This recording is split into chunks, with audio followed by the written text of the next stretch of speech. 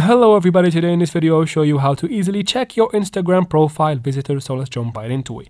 Now if you're suspecting maybe your crush or your siblings stalking your Instagram profile and you want to know how, just follow up with me. First go ahead and open your Instagram app, tap on the profile picture in the bottom right, and then tap on the three lines in the top right corner. In this menu tap on settings and privacy. From here scroll down, tap on account type and tools, and then tap on switch to a professional account and continue in setting up your professional account. It's very easy. Once you're done, go back to your main uh, page, tap here, and then choose a story. Anything, I'm just gonna choose this random picture and then go ahead and post it to close friends. Make sure the person that you are suspecting stalking your profile is in your close friends. After that, go ahead and tap on your profile picture in the bottom right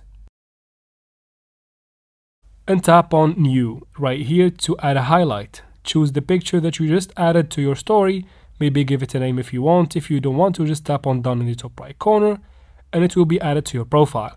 Now if somebody is stalking you they will most likely check your highlights. Now if they do you can open your highlights and swipe up from the bottom and they will appear here and you will know if they're stalking you and that's how we do it guys. I hope this video was helpful. Please like and comment down below. Don't forget to subscribe for future videos like this one and thank you very much for watching